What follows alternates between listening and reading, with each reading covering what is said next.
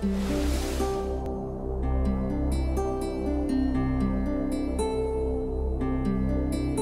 last J-Class to win the America's Cup in 1937 is coming back again, thanks to the work of Danish Yacht in Skagen on original drawings by Starling Burgess.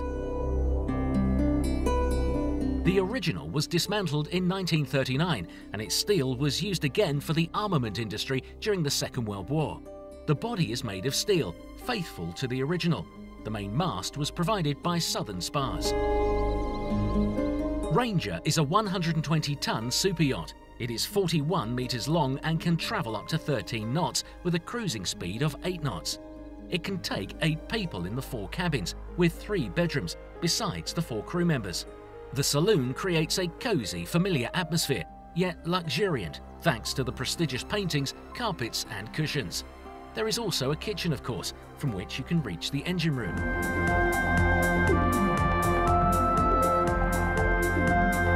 The luxurious interiors designed by Glade Johnson Design are made of mahogany covered in red leather and teak finishing. They are a reminder of the beauty and refinement of the 30s. Created in Sardinia, they were later shipped off to the Danish shipyard for the installation.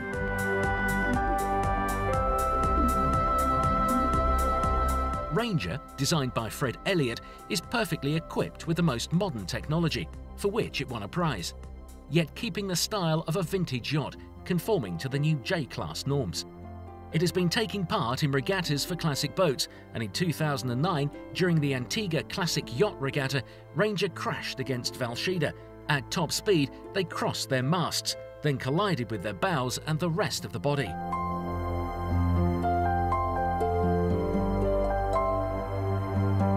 Ranger has two different worlds within itself.